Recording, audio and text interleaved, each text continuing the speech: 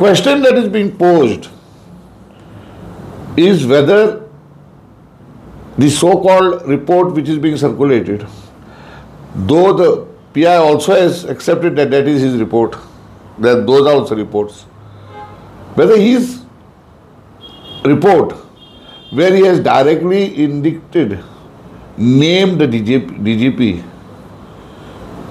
having pressurized him, is factual or whether the DGP who says that he was never involved in such a thing has never happened through, through him, whether the DGP is innocent. Now the fact of the matter is that everybody is innocent till proved guilty. Now, when you go through that report that is being circulated, this was a matter that was being investigated by the by the police for quite some time. The the the PI's report, the suspended PI's report, to be very correct, states about a device P was there earlier. He states about a device P was was, was present, calling the parties to the police station to inquire. Whenever they want, they feel it is a civil matter. Whenever they want, they can investigate the civil matter. This is all going on and is going on for donkey's years. Now, the question is, the DGP on the other side says that nothing happened such thing. Now the fact remains, the doubt of the question that arises whether it's factual or not is for the simple reason that this statement has come after the suspension of the PI.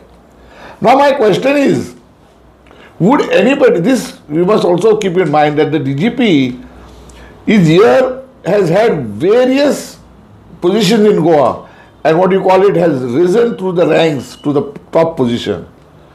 A man having such deep roots in Goa, would any officer of a rank of a PI have the guts to complain against the DGP before any problem arose? It's, I my, in my mind, it is no. However, so there was the question whether it is factual or not because it is made after he has been accused and suspended. Now the question is, this problem of demolition started somewhere on 22nd. Now on 22nd, 23rd, 24th, 25th, then the chief minister goes there on the site after arriving from Delhi in the night, understanding the seriousness of the law and order situation in Goa, and then directs an inquiry by the chief secretary, not by the DGP. Why? Did the chief minister not feel that the department head of the police who did not act properly should have could have investigated it? Did he have an inkling that there was a mischief by the by the DGP and therefore given it to the chief secretary? However, the next question is from the 22nd till the till the chief minister arrived on the spot or till the suspension, did not the DGP find that there was some dereliction of duty from his officers or what happened, how this happened. Did he ever try, go to the scene, call the call the officers and try to and, and, and inquired about it, met the president, said that he was looking into it. Any, any such thing happened? Why not? So who is innocent? Only a time-bound, high court monitored investigation will bring out the truth. See, first of all, I would like to say and tell the public or tell the government that people of Goa are demoralized by hearing this news and going throughout this trauma. आमचो लोक गोंयचो लोक तेजार जाला whom to blame and whom to not to blame. Believe म्हणटाय why yo top most boss police department ते आमची गोंयकारांची रक्षा करपाचे आहात पळय ते ते जाल्यार डेल्लीचे तर ब्रोकर जातात आनी आमचे उरलां कितें योक रेप्युटेड पी आय योक आपले योक एरिया आहा ते कोडेन. तो तो तेजेर एलिगेशन कोत्ता. होय व्हडलो व्हडलो कास तो सो हितून फर्स्ट अँड फॉरमोस्ट कोणें हें करूंक जाय एक्शन घेवंक जाय जाल्यार होम डिपार्टमेंटा लॉ मिनिस्टर आहा पळय ते बाबा हें कितें जाता आनी तेन्ना तेजेर रिलीफ करूंक जाय तेका. तुवें आतां क्वेश्चन घातलें म्हाका कितें? तो डी जी पी सारको वो पी आय सारको काय म्हणून?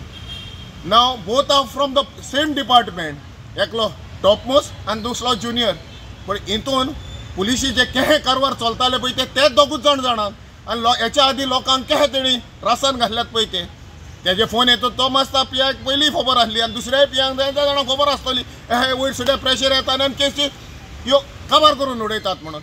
सो हितून हांव कोता जायतो मिक्स जाता हितून हितून कोवता आमकां ह्यो पुलीस डिपार्टमेंट कोहो बेदलोल्या कडेन आहा पळय तो. स्पेशली दीस रिगार्डींग लँड हे लँड माफिया जाल्ल्या कडेन आहा ब्रोकर जाल्ल्या कडेन आहा आतां हितून कोण ब्रोकर जाल्ला पळय आहा पळय तो?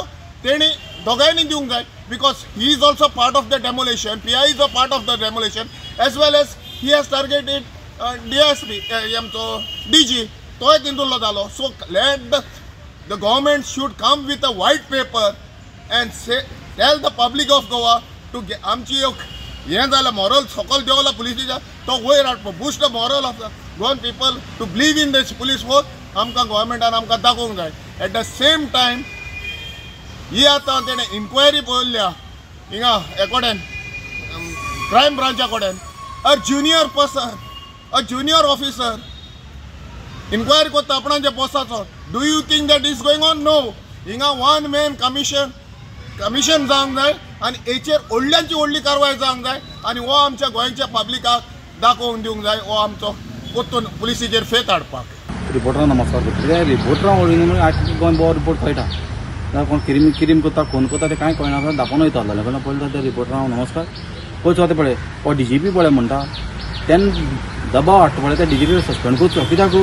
दबाव हाडपा मनीस म्हणटा स्वता वचपा ना कित्याक? फ्रिडम कंट्री कळना?